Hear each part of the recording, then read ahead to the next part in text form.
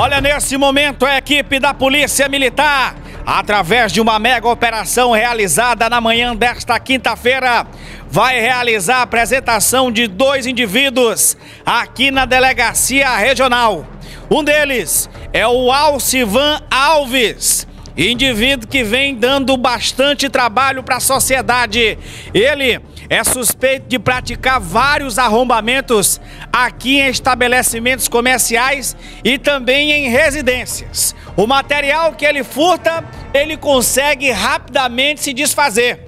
E esse elemento que vem dando trabalho, muito trabalho para a polícia, vai ser apresentado na regional para que o delegado doutor Serra possa tomar as providências e encaminhar, pedir à justiça que ele fique guardado bastante tempo para que não dê trabalho, porque esse rapaz é suspeito, é suspeito de ter furtado a escola Wizard, ali na rua Teixeira de Freitas.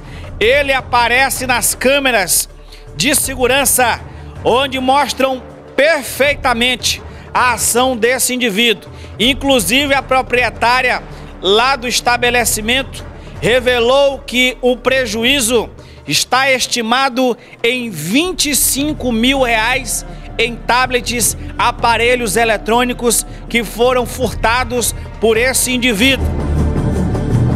Olha ele aí, já pintou até o cabelo. Cabelo de curica, Alcivan, o vulgarmente conhecido como trombada. A gente vai tentar conversar aqui com esse indivíduo para ver se ele traz alguma informação sobre esses objetos que estão com ele. Foi fácil entrar lá na Wizard, foi? Nada é fácil não, irmão. É nada fácil Fala. não, né? E É a vida do crime é treinamento, né, fácil? trombada? É não. É não, Muito né? treinamento, né, trombada? Mas Treinamento você, não. mas Quem você dizer passou a ficha de vo pra você de lá, quem foi? Ninguém não, eu que fui indo Tu já mesmo. sabia tudo E o seu mesmo. Não. parceiro lá, o Peru, Sabia vocês de trabalham juntos Sabia aí? de nada não, senhor. Eu entrei lá e arrisquei lá. Já arriscou, né? É. Mas na sorte Se deu bem, assim, hein, trombada? Tu saiu da onde, trombada? Mas Do- você vendeu pra quem? do então? inferno. Você Ah, vendeu pra quem? da onde? Tu entregou pro boca de fumo aqui, foi trombada? Trombada pintou até o cabelo para despistar a polícia, não, bra? Ei, trombada. Meu irmão, meu nome não é trombada não, irmão. Você É o quê? Qual é teu nome aí? Dá que licença. Apelido não? Fala de boa pro E como é teu apelido aí? Meu apelido é Hã? Como é teu apelido aí, então? Sem Sorte. Sem, Sem sorte, sorte, né? né? A polícia chegou agora tá sem preso. sorte, né? Tá aqui, o sem sorte, Mas essa é né? a vida, irmão. É a vida. Pretende sair Roubar dessa os vida? outros. Pretende A vi- sair dessa vida sem sorte? Vida de roubar os outros, né? É. Olha a quantidade de objetos, meu irmão, que está sendo apresentado nesse momento aqui na delegacia regional da, da cidade de Bacabal. Olha aqui, pano de joias. Olha aí, ó. O Pano de joia. Tem relógios, aparelho celular, mais joias. Olha só, mais joias. Olha só, meus amigos. Mais pano de joias. Proprietária tá... Olha aí, ó. Esse é o trabalho. Cordões, pulseiras, anel, caixa aqui... relógios. Olha aí, ó. Mais material aqui que está sendo apreendido. Já há vários dias a Polícia Militar está em constante trabalho tentando prender esses indivíduos que vêm cometendo diversos furtos e arrombamentos pela cidade. De fato, essas ocorrências aumentaram. E por conta disso, a Polícia Militar tem intensificado tanto as rondas na questão da prevenção, tanto o trabalho mais repressivo, entre aspas, para a questão é, de capturar esses indivíduos que vêm praticando esse- esses furtos. É, na noite passada, né, tivemos aí o arrombamento da Wizard, onde levaram vários aparelhos é, eletrônicos, notebooks, é, tablets, é, celulares, dentre outras coisas. O mesmo indivíduo que vem cometendo esse- esses atos né, há vários dias, há vários estabelecimentos comerciais, há residência. Inclusive, nós já havíamos prendido ele há, há uma semana mais ou menos. O parceiro dele também foi preso tem dois dias. Os dois haviam cometido também um furto a, uma oficina. Nós, no dia, só conseguimos capturar o seu parceiro, né, de Alcunha, Peru. E hoje, nós conseguimos aí a captura desse outro elemento, né, chamado trombada. É que ele sozinho, já que estava sem parceiro, seu parceiro ainda encontra-se preso, não sabemos até quando, né, ele foi sozinho e praticou esse furto é, na Wizard, onde deixou um prejuízo muito grande lá. Então nós desde cedo estamos em diligências tentando prender esse criminoso. Nós conseguimos lá no momento de sua prisão.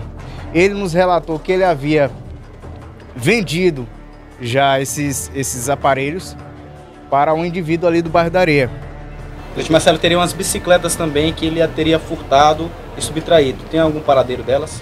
Positivo. Eu acredito que na última semana ele tenha furtado aí um, pelo menos cinco bicicletas. Então ele também já, já relatou que já repassou. Ele consegue repassar esses itens de maneira fácil e muito rápida.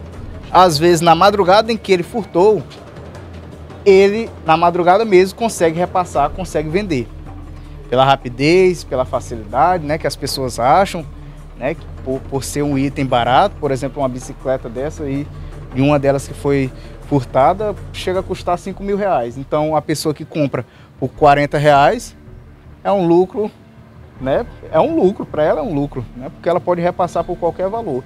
E não há como o receptador dizer que não sabia, que não suspeitou, porque o valor que esses indivíduos repassam principalmente porque são usuários de drogas. Outra situação que eu digo sempre que a droga fomenta todos os crimes, vários outros crimes, a exemplo de roubo e furto. Então, o valor que é repassado é muito baixo, porque eles querem aquele valor ali para utilizar em drogas, são viciados.